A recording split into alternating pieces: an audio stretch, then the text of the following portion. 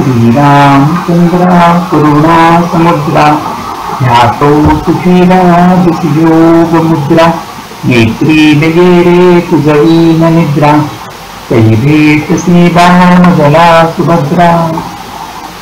प्रपंच देवाचा मानून करावा. महाराज म्हणतात अमुक एक हवे किंवा अमुक एक नको असे न वाटणे याचे नाव वैराग्य.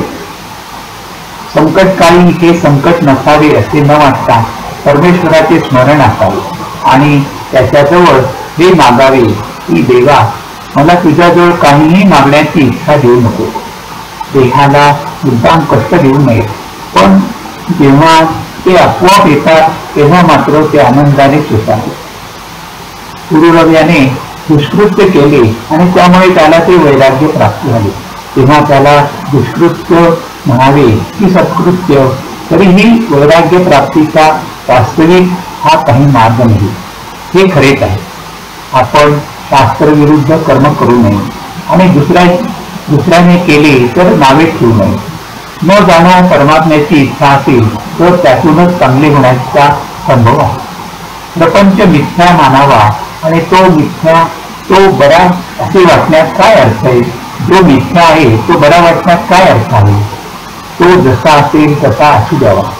नाटकात मग जसे काम करतो त्याप्रमाणे प्रपंचात आपण आपले काम करावे. तुमचा परमार्थही तुमच्या स्वाधीन नाही.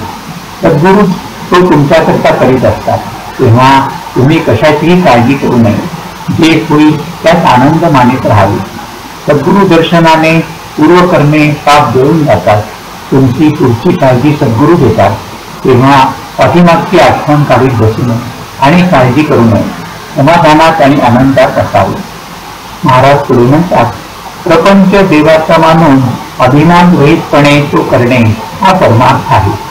परमेश्वराचे स्मरण ठेवून तोच करता आहे असे मानणे आणि सर्व काही त्याच्याच करता करणे म्हणजे देवाला अर्पण केल्यासारखीच आहे. फक्त कर्माच्या शेवटी कृष्णार्पण म्हणणे म्हणजे इतर वेळ त्याला विसरला असे नाही आहोत. देवापाशी मला तू आपला मन हे मन तुझ्या चरणी अर्पण केले आहे. मला तुझ्याजवळ काहीही मागण्याची इच्छा न हो असे मागावे नाहीतर जो राज्य द्यायला समर्थ आहे त्याच्याजवळ केरसुनी मागितल्याप्रमाणे होईल. भगवंताची मनापासून प्रार्थना करावी. आपल्याला तो बरोबर मार्ग दाखवतो.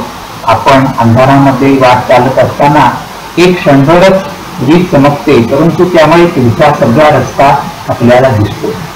त्याप्रमाणे मनापासून भगवंताचे स्मरण केले तर पुढचा मार्ग पुढच्या मार्गाचे आपल्याला आपोआप ज्ञान होते. तू जे देशील ते मला आवडेल असे आपण भगवंताला सांगावे आणि भगवंताचे अखंड स्मरण ठेवावे त्यापेक्षा भगवंताजवळ जायला दुसरा मार्ग कोणता असणार बरे महाराज शेवटी म्हणतात ज्याच्या प्रपंचामध्ये पाठीराखा परमात्मा आहे त्याचा तोच परमात्मा होतो. ज्याचा पाठीराखा अभिमान आहे तो प्रपंच समजावा. हरिओम हरिओम हरिओम